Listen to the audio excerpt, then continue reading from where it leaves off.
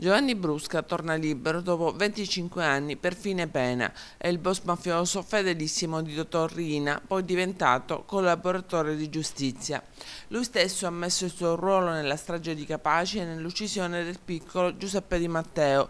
Come scrive l'Espresso, Brusca ha lasciato ieri il penitenziario di Re Bibbia con 45 giorni di anticipo rispetto alla scadenza della condanna. Adesso è un uomo libero sottoposto a controlli e protezione. Tecnicamente Attualmente però resta sottoposto a quattro anni di libertà vigilata. Così ha deciso la Corte d'Appello di Milano, l'ultima a pronunziarsi sul conto del condannato in relazione al processo più recente.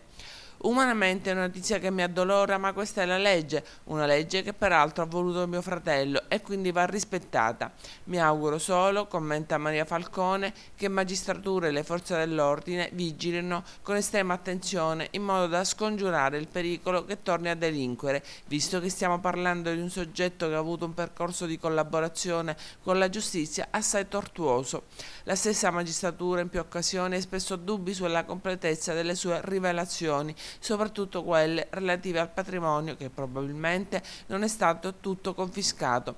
Non è più il tempo di mezza verità e sarebbe un insulto a Giovanni, Francesca, Vito, Antonio e Rocco che un uomo che si è macchiato di crimini orribili possa tornare libero e godere di ricchezze sporche di sangue che sbrusca e scontata la sua pena venga scarcerato è un fatto normale, è la legge. Quello che non è normale invece è che dopo 30 anni la verità sulle stragi sia ancora tenuta ostaggio di reticenze, viltà e menzogne.